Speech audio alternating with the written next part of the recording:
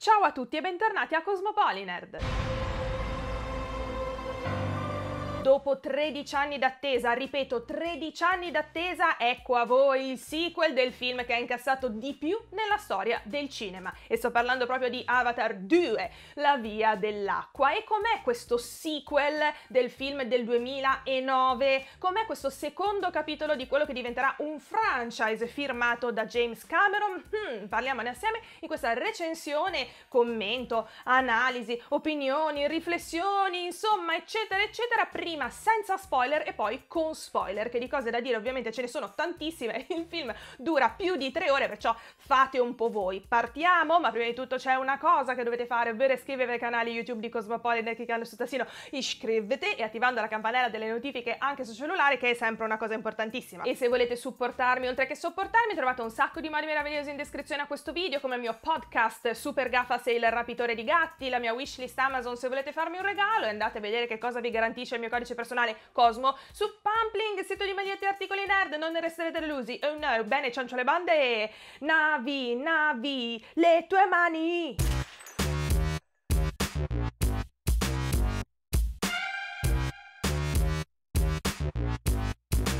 Entriamo subito nel vivo con la recensione senza spoiler. Dovete sapere che se da un lato sono molto contenta di avere l'opportunità di parlare di questo film con voi, dall'altro lato della medaglia sono un po' preoccupata. Ho buttato un occhio molto superficiale, sicuramente per non farmi influenzare, alle recensioni internazionali, per capire giusto un po' che aria tirasse. E c'è chi lo definisce un capolavoro e chi una mezza ciofeca. E poi ci sono io che come al solito sono in una via di mezzo costante e perpetua nella maggior parte dei casi, ecco, però capisco entrambi i punti di vista, sia chi l'ha definito un capolavoro, perché sicuramente ci sono dei motivi e dei crismi per definirlo in tal modo, ma ci sono anche dei motivi che possono aver giustificato le opinioni contrastanti, ovvero che lo vedono come una mezza ciofeca, perché la cosa interessante di Avatar 2 è che è tutto, cioè nel senso è un film molto molto molto impegnativo, sia per la durata, ma soprattutto per gli estremi che riesce,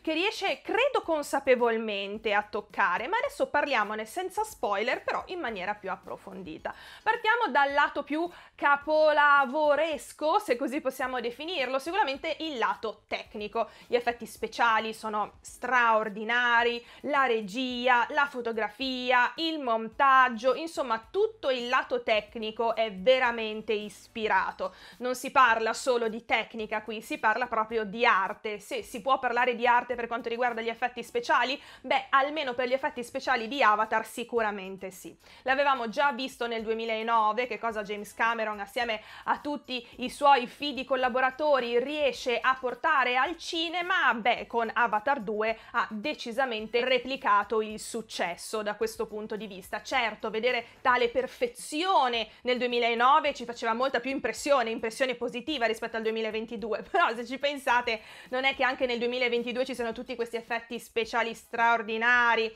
spesso anche in film di altissimo budget si vede che quello che stai guardando è finto, è creato al computer, invece il livello di verosomiglianza, il livello di realismo, il livello di straordinarietà di Avatar 1 e oggi Avatar 2 è secondo me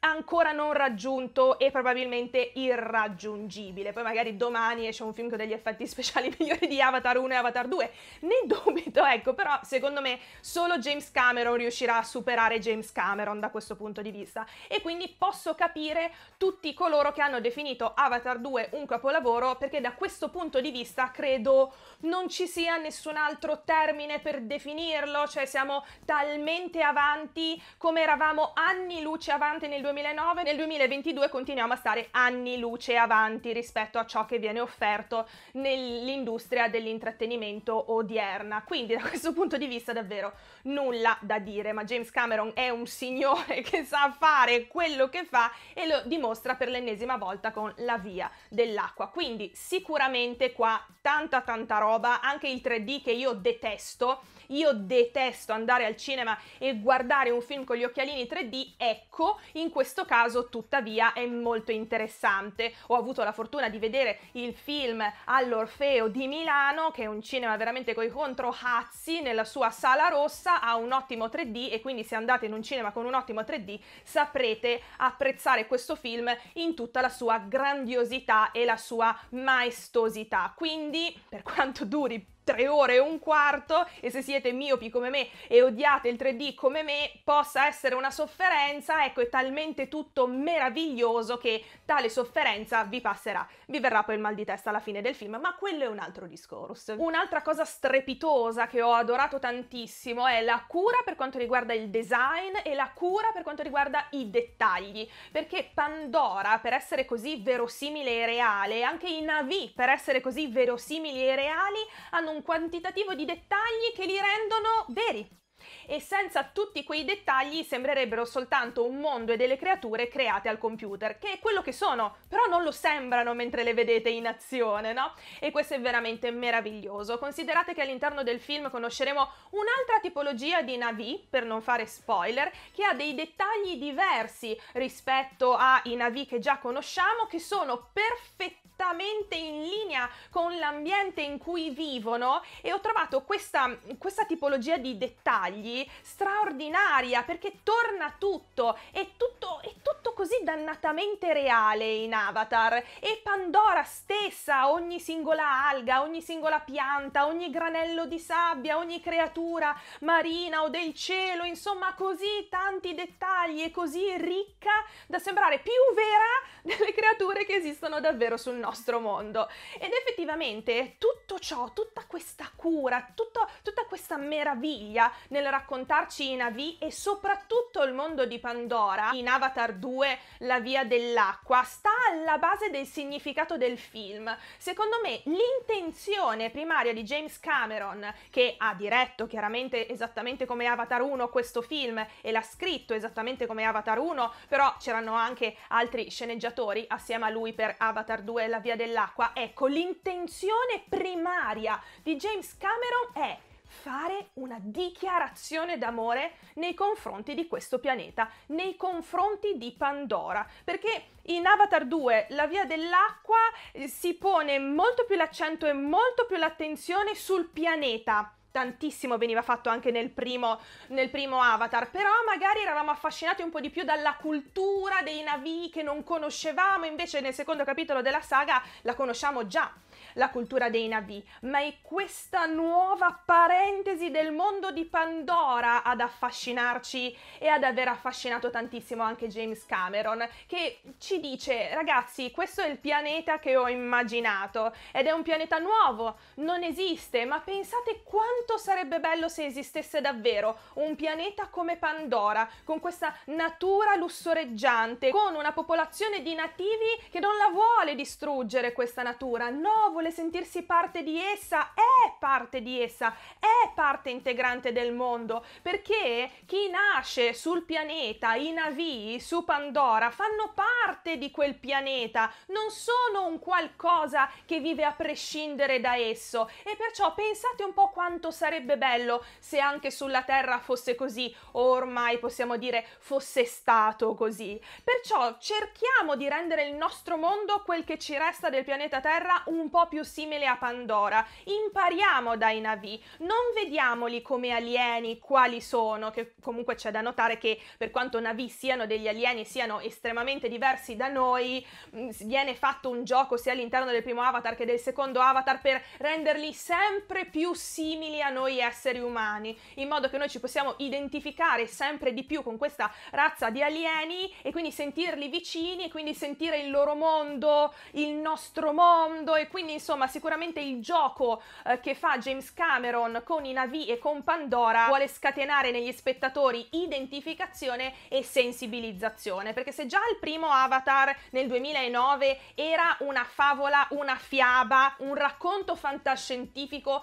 a forte tema ambientalistico, qua ancora di più. Certo, nel 2009 avere un film blockbuster pazzesca a tema ambiente era una cosa, avere invece un prodotto di intrattenimento, anche un blockbuster oggi nel 2022 a tema eh, ambiente, diciamo che ormai è un po' più sdoganato. Da questo punto di vista Avatar 1 era stato più rivoluzionario, ecco, e si era distinto molto di più. Tuttavia Avatar 2 continua su questa scia, perciò è bellissimo vedere come James Cameron ami tantissimo quello che ha creato, ma non lo ami da un punto di vista onanistico della serie, oh, l'ho fatto io, quindi lo amo tanto, perciò to, beccatevelo. No, vuole costringerci quasi, con delle durate da sequestro di persona, cheat, ad amarlo anche noi, a volere che anche il nostro pianeta sia esattamente come Pandora. Infatti in Avatar 2 ci sono un sacco di momenti, ma davvero un sacco di momenti meravigliosi, eh, ma altrettanto inutili ai fini della trama del film, in cui si esplora la fauna, la flora, le usanze dei nativi di Pandora. Sembrano dei documentari del National Geographic più che un film che dovrebbe portare da un punto A a un punto B. Diciamo che le digressioni sulla beltà di Pandora si sprecano davvero all'interno di questo film, che sicuramente però lo rendono molto più affascinante di come sarebbe stato il film se non avesse avuto tutte queste parti qua. Quindi effettivamente sarebbero state da tagliare oppure no? Effettivamente la trama e la profondità dei personaggi, la caratterizzazione, i rapporti tra di loro è così fondamentale per James Cameron in Avatar 2? Secondo me no. Secondo me la cosa fondamentale è quella che vi ho detto prima, farci innamorare di Pandora, mostrarci che meraviglia è e lasciarci trascinare dalla beltà di questo mondo che non esiste, pur esistendo, almeno davanti ai nostri occhi. Della storia e dei personaggi non gliene fregava una bene amata mazza. Me lo auguro che fosse così, perché altrimenti molto molto male. Certo, sicuramente. Siamo abituati negli ultimi anni a vedere delle ciofeche intergalattiche, tuttavia da Avatar 2 mi aspetto tanto sotto tutti i punti di vista, perché se il primo film era una scopiazzatura totale, totale di Pocahontas, dall'inizio alla fine praticamente, Qua abbiamo anche un canovaccio abbastanza confuso da un punto di vista di trama. I personaggi si mantengono praticamente al 99,9% esattamente come nel primo film, degli stereotipi molto molto superficiali che hanno un ruolo archetipico, voglio essere gentile o meglio clichettoso, che portano avanti per tutto il film tracciandosi un percorso del loro personaggio che però è ascritto alla tipologia di personaggio clichettoso che sono, nel senso non escono mai dai binari della prevedibilità, del telefonato, del già visto, insomma, ma anche la trama di Avatar 1 era completamente già vista, completamente telefonata, sapevi ogni minuto che cosa sarebbe successo, ma perché in Avatar 1 e in Avatar 2 nella trama, nei personaggi sono mai stati la priorità. Mi auguro che magari andando avanti con il franchise, visto che ci aspettano all'orizzonte altri 750 miliardi di capitoli ambientati su Pandora ci mettano anche un po' di profondità da questo punto di vista qui, perché ormai insomma Pandora e i Navi li abbiamo esplorati un sacco in questi due film, no? Magari se ci fosse anche una trama vera con dei personaggi veri, dei bambini veri, eh, potrebbe essere decisamente più interessante, o meglio ancora più interessante, perché Avatar 2 ha tutto, tranne la trama e i personaggi. Voi direte, sti cazzi, sì, sì, sti cazzi, però vedete, Avatar 2 riesce a essere contemporaneamente un capolavoro, perché lo è, e contemporaneamente una mezza ciofeca. Dipende da che punto di vista lo osservate, quali sono gli aspetti che analizzate, su cui vi concentrate, perché ottenere un tale livello di precisione nell'espressività dei volti di queste creature, i navi creati digitalmente, ma già nel 2009, eh, non solo oggi, è una roba pazzesca, è una roba pazzesca da brividi, da pelle d'oca, mamma mia! Però poi avere una trama che può essere riassunta con due righe e anche abbastanza corte e che viene diluita proprio a non finire in tre ore e un quarto di film, mi viene da dire ma ragazzi che cosa ho fatto di male per meritarlo? Vi ci sono voluti 13 anni per scrivere sta trama, queste due righe di trama, davvero? Stiamo scherzando e poi è troppo lungo, tagliate, per piacere, tagliate. Io alla fine della seconda ora ho avuto un calo, un calo pazzesco di interesse, sono successe un paio di robe che sono anche coinvolgenti, ma proprio non me ne poteva fregare di meno, cioè un'ora poteva essere tagliata tranquillamente. To,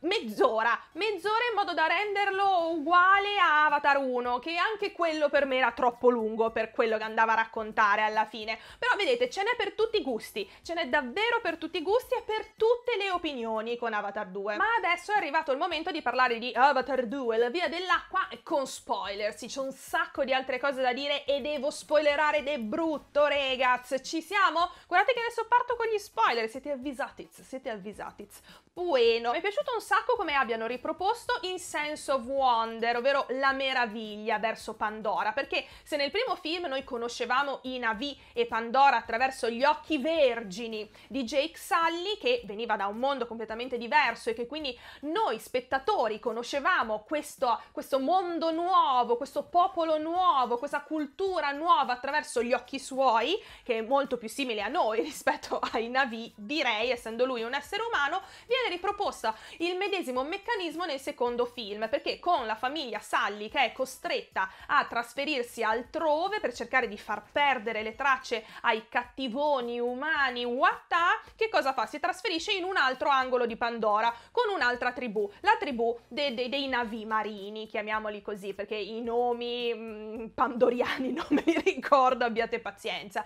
Ecco, pensate che la moglie di eh, Jake Sully io la, la chiamo Daikiri Papiri o Napapiri o Nagini, abbiate pazienza, con i nomi pandoriani sono un po' una frana, ma so che saprete aver pazienza a riguardo. Quindi sì, scopriamo una nuova tribù, eh, nuove creature, un nuovo lato di Pandora, che non è più quello delle foreste, delle piante altissime, delle rocce, delle creature che li abitano, no, è il mare, l'oceano e quindi anche gli animali che scopriamo, la flora che scopriamo è completamente diversa e come vi dicevo nella parte senza spoiler, vedere i navi marini con questa coda più spessa, con queste alette alle braccia che hanno un fisico molto più da nuotatori, mi è piaciuto tantissimo perché c'è proprio un'attenzione ai dettagli che, che vanno a costruire l'identità del popolo, meglio dei vari popoli su Pandora veramente encomiabile. E anche il fatto che il loro atteggiamento da guerra sia diverso rispetto a quello dei navi delle foreste è molto figo, è come se fossero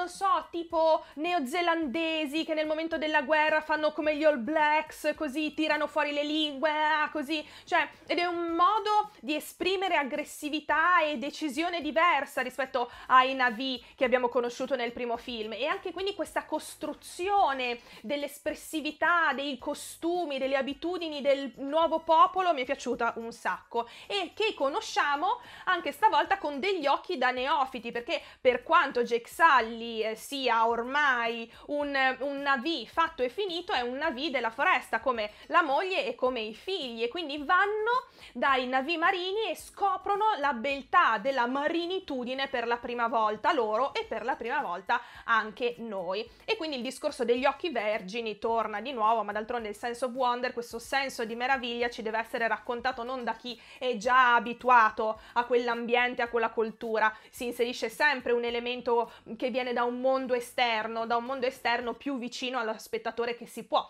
per avvicinare appunto noi, vergini estranei, in maniera più facile, più convincente, più emozionante e più coinvolgente. E ho trovato interessante anche il fatto che i cattivi del primo film ritornino incarnati in avatar Navi, non hanno più il loro corpo umano, ma insomma la loro memoria, la loro coscienza è stata inserita all'interno di questi corpi Navi creati in laboratorio. Ok, un po' è un riciclo, eh. Da un certo punto di vista non mi è piaciuto perché, cioè, riproporre di nuovo gli stessi personaggi del primo film all'interno di corpi nuovi non mi ha fatto impazzire. Tuttavia per quanto sembri non coraggioso da un certo punto di vista, sicuramente ha un senso, perché se questi esseri umani uccisi dai Navi odiavano tantissimo i Navi, ritrovarsi all'interno del corpo dei loro nemici giurati che odiano con ogni fibra del loro essere, insomma, è un bel contrappasso. E quindi anche integrarsi all'interno di Pandora nei modi Navi, come infatti chiede il cattivone al figlio umano che è cresciuto con i Navi, che da un certo punto del film in poi impazzisce, infatti ha un comportamento un po' confusionario, eh? non è stato scritto benissimo il personaggio di Spider, ma insegna al padre non padre a uh, collegarsi con le creature volanti, insomma, e quindi il fatto che questi soldati che odiano i Navi vivano la vita in modo Navi su Pandora è, è comunque interessante, per quanto avrebbero potuto sforzarsi un po' di più e creare dei nemici nuovi. Probabilmente lo vorranno fare poi per il terzo, quarto, quinto, sesto, eccetera capitolo, anche se vedendo che il cattivo non muore alla fine del film un po' mi fa pensare che ce lo ricicceranno di nuovo terzo film, santi numi. Tra l'altro quel personaggio lì è super stereotipato, ma proprio da morire, cioè credibilità zero, rappresenta una minaccia perché è cattivo. Lui è un cattivo perché è cattivo. Uh, che profondità! Cominciano a mettergliene giusto un puntino alla fine del film, quando sta minacciando la figlia di Susan Sarandon, che eh, la vuole far fuori, c'è Daikiri, Nagini, Napapiri che prende il figlio di lui, il piccolo ragazzino umano, col coltello alla gola e nel momento in cui sembra che Daikiri stia per ucciderlo, che cosa fa il cattivo? Lascia andare la giovane Navi, eh, impauritissimo, no? Non vuole perdere suo figlio. Quindi è sicuramente interessante vedere nuove sfumature, o meglio, qualche sfumatura di un personaggio che è sempre stato così dannatamente monodimensionale.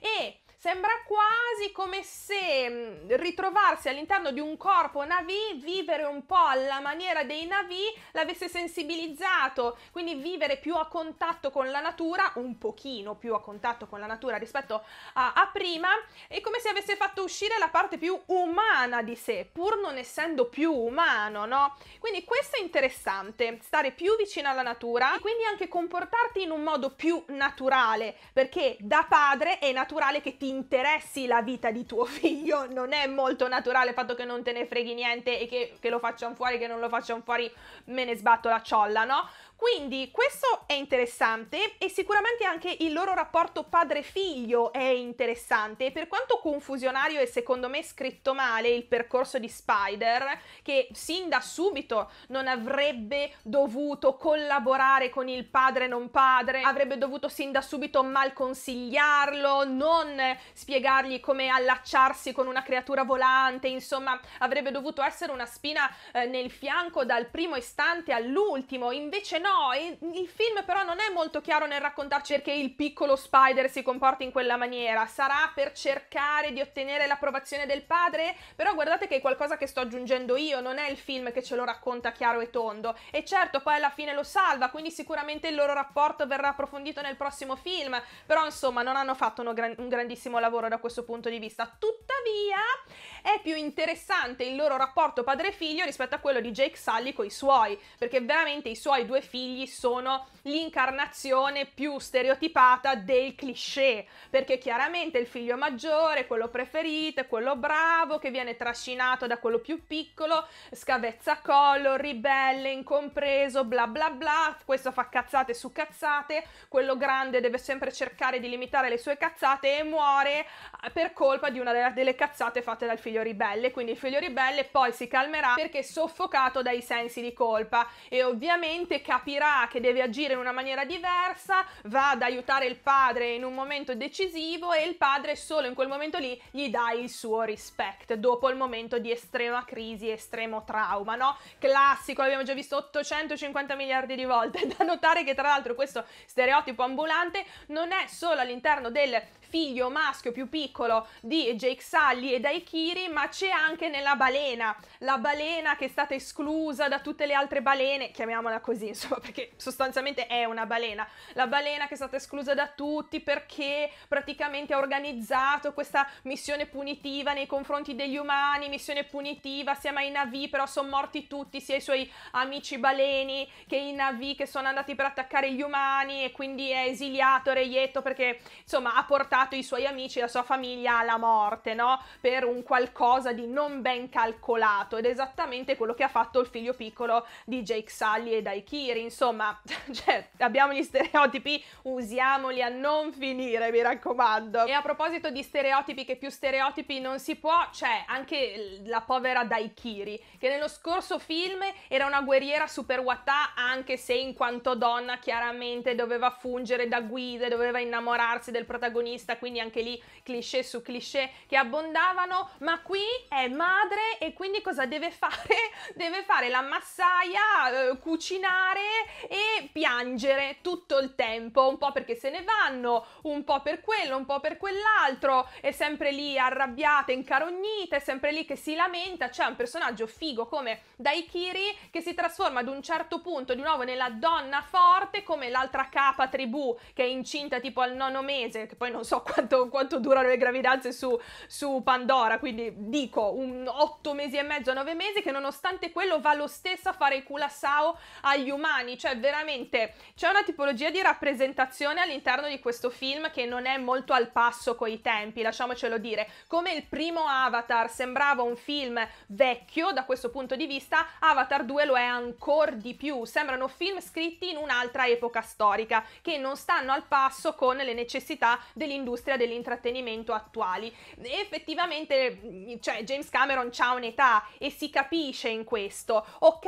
non vogliono dare importanza al ruolo della donna, non vogliono dare importanza a tante altre cose, vogliono dare importanza al ruolo padre e figlio. Però anche sta cosa del eh, il padre è protezione, il padre protegge, se non protegge allora che cosa serve a fare? Va bene, io immaginavo che poi ci fosse ad un certo punto uno stravolgimento di questa cosa. Invece il film va solo ed esclusivamente a raccontare che il padre non protegge una minchia perché il suo figlio maggiore muore e alla fine comunque è il suo figlio minore a prendersi cura di lui. E quindi lui deve accettare la sconfitta in un certo senso Jake Sully. E questo va a rendere più interessante il suo personaggio che resta il suo il personaggio più interessante e meglio scritto di tutti e due i film di Avatar indubbiamente. E quindi in realtà l'unico personaggio su cui si sono concentrati da un punto di vista di scrittura è il suo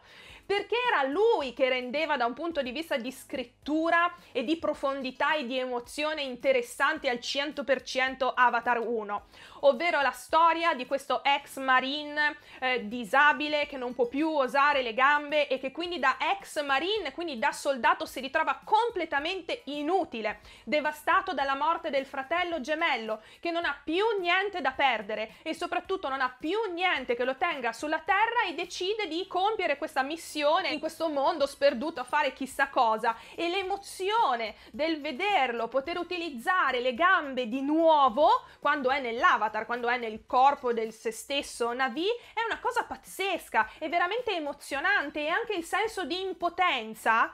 gli passa perché infatti lui è utile, è determinante per i Navi, è fondamentale, no? Perché comunque un ex marine è abituato a, a essere un uomo d'azione, ad essere un uomo che fa e invece l'essere diventato disabile gli impediva di essere se stesso, di ricoprire il ruolo che aveva scelto per se stesso, che comunque si ritrovava, no? E quindi ecco perché sceglie di stare su Pandora, perché lui si sente davvero se stesso, può essere davvero se stesso ed è davvero accettato da un popolo diverso dal suo, su un mondo diverso dal suo. E quindi Avatar 1 da questo punto di vista è molto profondo, profondità che però purtroppo mi spiace si perde nel secondo film, perché non c'è niente, non c'è c'è un corrispettivo di, di, di, emozione, di significato come questo che vi ho appena raccontato. Ecco, l'ossessione di Jake Sully del sentirsi utile, del sentirsi a protezione, del sentirsi un ex soldato che deve fare del bene, che deve fare e deve essere fondamentale per gli altri, è importante in questo film, ma poi si va a perdere in una maniera secondo me poco omogenea. Certo, lui non può controllare tutto e anche se potesse controllare tutto, ciò non determinerebbe mai il successo di tutte le missioni, la salute di tutti i suoi figli e quindi lui deve fare un passo indietro, pensava di essere onnipotente su Pandora, invece non lo è invece sbaglia, invece fallisce. Avrei voluto che approfondissero un po' di più il suo rapporto con i figli, perché si vede il rapporto dei figli tra di loro, ma Jake Sully e la nostra povera Daikiri ad un certo punto spariscono dai radar, anche se Jack Sully è fondamentale perché il cattivo fa tutto quello che fa per cercare di far fuori Jack Sully, no? Quindi ok, però non so, um, in 13 anni secondo me avrebbero potuto concepire tutto in maniera più omogenea. Si sono concentrati su raccontarci Pandora, la Pandora sottomarina, bellissimo, bellissimo, però da un punto di vista di sviluppo dei personaggi avrebbero potuto concentrarsi un po' di più, perché sono sicura che sarebbero riusciti a tirar fuori qualcosa di molto più interessante e di molto meglio fatto, perché le mettono le robe super interessanti riguardo i personaggi, no? Anche il fatto che Jake Sully con i figli sia così rigido, però non viene più approfondito approfondita quella parte lì ed è un peccato. Mi auguro lo facciano nei prossimi film. Tuttavia questo film non è che dura 45 minuti, eh, dura 3 ore e un quarto. E se in un film di 3 ore e un quarto riesci solo a inserire i germogli di qualcosa che poi avverrà da un punto di vista di personaggi più avanti, per Dindy Rindina, per fare un arco normale di un personaggio, di quanti film hai bisogno? 352. E poi, boh, mi è sembrato un po' sciocco anche il motivo che dà il là a tutto l'intero film, ovvero che loro scappano dalla tribù delle foreste foreste in modo da non attirare l'attenzione dei cattivi sulla povera tribù delle foreste perché tutti sanno dove sta Jake Sully quindi se ne va con la famiglia in un'altra tribù sperando che gli umani non lo trovino da nessuna parte. Ma sveglia sveglia hanno delle tecnologie incredibili e tu lo sai perché eri uno di loro perciò secondo te soprattutto se poi chiami i tuoi amici umani avatar a soccorrere gente della tua famiglia secondo te non li tracciano i loro velivoli che sono comunque composti da tecnologia umana, secondo te non ti troveranno mai? Quindi, cioè, allora te ne vai per conto tuo, non vai a mettere in pericolo un'altra tribù, perché la tua tribù originaria sì, e invece sti poveri cristi qua del mare no, chi se ne frega? Cioè, li mettiamo in pericolo tranquillamente. Che egoismo, ragazzi, che egoismo. Lui, ok, non aveva calcolato che l'avrebbero trovato lo stesso, però se lo poteva aspettare per Dindirindina, no? Cioè, sono anche passati degli anni, quindi sicuramente le tecnologie degli umani saranno avanzate ulteriormente, cioè, ma sveglia, sveglia, quindi non lo trovo neanche così in linea con il personaggio che si, che si, è sempre dimostrato anche strategicamente intelligente. Questo mi è sembrato proprio una sciocchezzuola per dare il là all'esplorazione del nuovo angolo di Pandora. Quindi mm, una cosa che doveva succedere, non sapevano come farla succedere in un altro modo e hanno optato per questa, no? Ma passiamo alle riflessioni finali, perché veramente mi sto ponendo dei quesiti interessanti a riguardo. Allora, eh, ok, nel 2009 un film come Avatar è stato straordinario e rivoluzionario. Non eravamo abituati al 3D, non eravamo abituati a quella tipologia di 3D, non eravamo abituati a quella tipologia di effetti speciali e il passaparola l'ha fatto diventare il film che ha incassato di più nella storia. Ma nel 2022, con il 3D che è tipo il nemico giurato per tantissime persone, non soltanto per i miopi come me, e poi comunque non è che sia tutta sta novità, siamo molto più abituati agli effetti speciali, non come quelli di Avatar, però di base siamo molto più abituati. Secondo voi eh, Avatar 2 potrà arrivare a incassare tanto quanto se non di più Avatar 1? E l'effetto passaparola sarà così lusinghiero come lo è stato allora? Perché allora ha riempito gli occhi di milioni e milioni e milioni di persone di meraviglia ed è stata una prima volta. Ma siamo sicuri che farà così anche Avatar 2 perché non è una prima volta, è una seconda volta. Quindi James Cameron riuscirà a battere se stesso perché è l'unico concorrente eh, che ha in campo, oppure verrà battuto da se stesso del passato che fa un po' una roba alla Terminator se ci pensate e quindi è sicuramente coerente parlando di James Cameron. Ed effettivamente il 3D oggi ha ancora senso perché comunque Avatar 1, anche visto sullo schermo del computer chiaramente in 2D, non in 3D, è un film che ha tutta la sua dignità, perciò sto 3D è così fondamentale, spinge ancora le persone ad andare in sala. Nel 2022 se una persona non vuole andare a vedere Avatar 2 al cinema, se gli dicono eh però in 3D, allora questa ipotetica persona fa oh sì, allora devo andare a vederlo assolutamente. Non lo so, non lo so, sarà molto interessante vedere l'andamento di questo film, veramente interessante. E poi è anche molto figo come abbiano coscientemente inserito all'interno di Avatar 2 alcuni elementi che andranno a stuzzicare i giovani della nuova generazione, della famosa generazione Z, perché ci sono i Regaz, no? Ci sono i Regaz e oggi i Regaz nel 2022 sono quelli della generazione Z. Ci sono il love love tra ragazzini, ci sono queste dinamiche adolescenziali, sia love lovose che familiari, fraterne, eccetera, eccetera. Quindi sarà interessante vedere quanto Avatar 2 farà presa sulla nuova generazione, ovvero la generazione Z, che tutta l'industria dell'intrattenimento sta disperatamente rincorrendo. Stanno rincorrendo i loro gusti allo sfinimento per cercare di portarli all'interno della baracca, perché la generazione Z quanti anni aveva quando è uscito il primo Avatar? Sicuramente era molto più piccola della sottoscritta e quindi ne ha ricordi sicuramente diversi, o magari non l'ha mai visto, o magari non so i membri della generazione Z quanti film in 3D al cinema abbiano mai visto. Quindi Avatar è un esperimento molto interessante da analizzare, da osservare con attenzione anche per quanto riguarda quale e quanta presa avrà sui nuovi ragazzi, sui nuovi giovani, riuscirà a strizzare loro l'occhio e loro strizzeranno l'occhio Avatar 2 oppure avranno un no no, questa è una roba comunque da vecchi, cioè da millennials come minimo, ciao ciao da una millennial, quindi queste sono le riflessioni molto stimolanti, almeno per quanto mi riguarda, che mi faranno seguire da vicino l'andamento da un punto di vista di critica, da un punto di vista di incassi e da un punto di vista di risonanza social di Avatar 2. Quindi decisamente un film completo con molti sì e molti no e molto interesse. Ecco, sì, davvero, vabbè. Avatar 2 La via dell'acqua è stato un bel esperimento, alla fin fine sono contenta di averlo visto al cinema. E sì, dai, un po' di voglia di vedere Avatar 3 ce l'ho, quindi appuntamento fra due anni, yeah!